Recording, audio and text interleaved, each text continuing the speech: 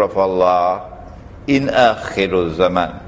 You know you are living in Akhir Zaman when, for example, did he not say, Sallallahu Ta'ala alayhi wasallam, that women would be dressed and yet naked?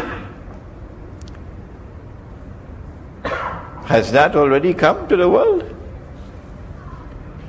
Did he not say at that time of that feminist revolution, which will be also a sexual revolution, that people will have sexual intercourse in public like donkeys, if it has not as yet reached, it's not far away. We are living in Akhir Zaman.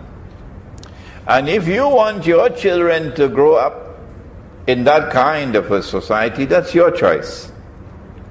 Our choice is to withdraw when we see this revolution. Withdraw and take our wives and take our children to an atmosphere, a society which is purer in, in the remote countryside where we will build small communities and where we will try to live the way of life of Islam. If this is Akhir Zaman, then remember